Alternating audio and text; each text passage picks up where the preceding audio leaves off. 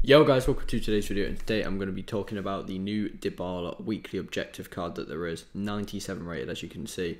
Now all you have to do is build a 193 draft and this would be genuinely easier on Xbox because of the amount of icons that they give out.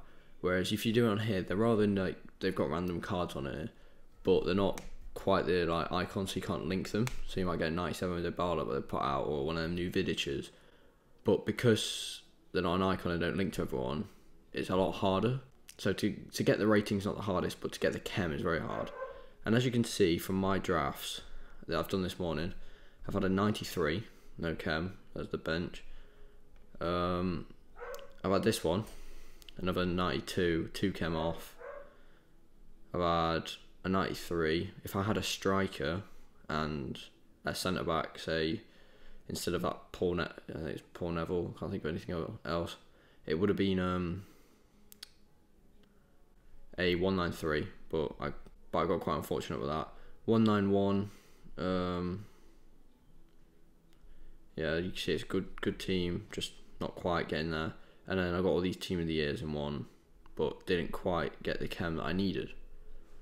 So if, if you notice something common in all the ones where I get close, like this one, this one, and well, this one, this one, the thing that tends to be the common pattern and will help you get a 193 is if you play a three back formation. So I haven't actually managed to get one yet, uh, 193, but if you play a three back formation, it will definitely help you a lot more because centre backs are a lot higher rated, whereas there's more like Ricardo Pereiras who are like 88 rated, and that's not going to get you to 193.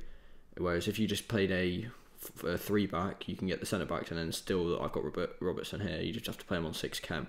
And there are a lot higher rated wingers than there are wing backs. So to help get this Dybala, I'd recommend doing the three back.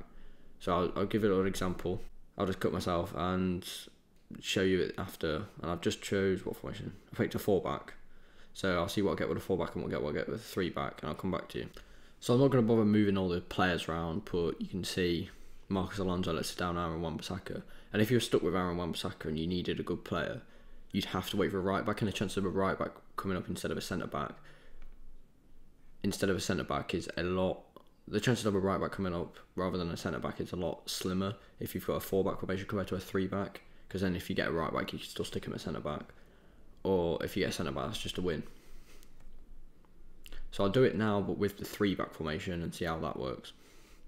This is a perfect example. If I get another centre back or a Aguero, if I get centre back, then this should help sort me out a lot. Let's drop my cam, but if I get a centre back, let's see right back, uh, Virgil van Dijk, bang. This this could actually hopefully be something. Trent, he's just dropping it. If I switch, oh, be a good one. Be like a 99, 94. Okay. How's that not help the chem? That's going to drop the rating though, isn't it? Oh, do I play Mane? Yeah, I'd play Mane at left wing. I was going to take the Sadio Mane, and I was going to take the Mo Salah. Oh, this is annoying. I don't think I can get the rating full stop anyway. 94 instead of a... Uh, no, it's gone anyway, but you can see that not a three back definitely does help a lot more than the um, four back. So that's the best way to do it. I'd say go around it. Occasionally switch it up though if it's not working for you. But yeah, guys, this is just a video to help you try and get it, and I probably will eventually get it because I've just been doing it. I've got nothing else to do.